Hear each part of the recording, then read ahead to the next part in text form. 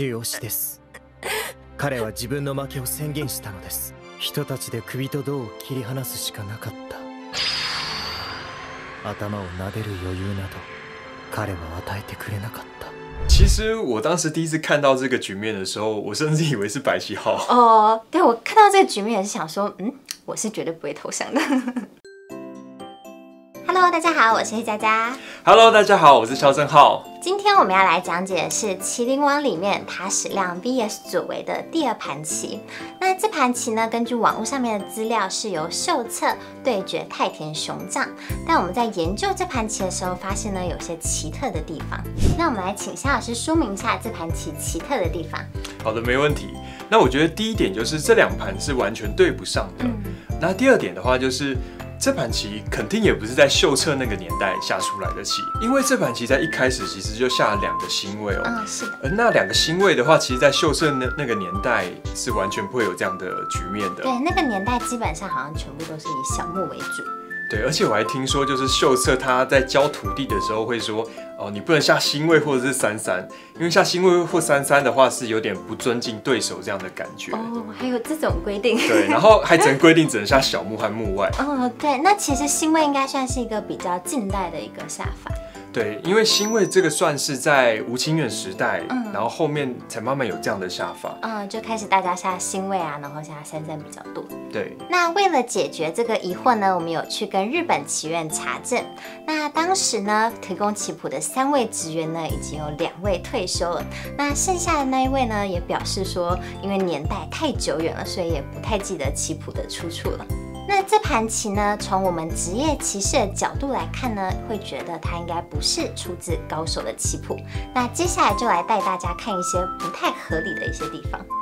第一个不合理的地方就是白棋往这边飞，哦，那飞这步其实还蛮奇怪的，因为白棋其实在上面已经是有一个后势的感觉，然后现在飞在这个感觉，棋子是非常的局促，都挤在一起。对，等于说它非常的重复，而且这手棋如果说它是在攻击黑棋这两颗子的话呢，也是有点牵强，因为现在黑棋不管是往角上飞，还是碰一个白棋，都是无法攻击到这两颗子的。对，所以如果白棋想要攻击这两颗的话，应该第一手会想要，譬如说下在这边，就是缩减黑棋的根据地，这样会比较好。嗯、对，而且同时还可以围到脚上的空。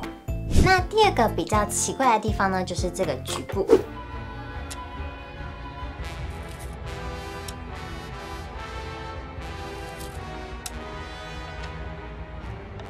当黑棋飞的时候呢，白棋这个时候呢，应该要选择拐过来。对，拐过来感觉就是很简明哦，这样子黑的感觉下一步对,、是想往这边拖过嘛？对，因为这个时候呢，黑棋明显是没有办法冲的，一直冲的话呢，被白棋断掉，那黑棋这三颗子就死掉了。对，所以黑棋看起来只能拖过，那其实这样的话，那白棋简就算简单连上，应该也是蛮好的。对，这样黑棋呢还得再补一个。这我们可以看到白棋呢，这整块棋呢都连在一起，应该是还蛮满意的。接下来这个奇特的地方呢是比较难发现的，那就是根据上一个盘面呢到现在这个盘面，我们去推敲它的手顺呢是找不出来一个合理的顺序。接下来奇特的点，我觉得就是这个局部，这个局部实在长得太诡异了。这个就是黑的黑棋看起来形状形状非常的奇怪，嗯，长成这个样子。我觉得白棋也很奇怪。对，感觉就是手顺上，我们简单看一下。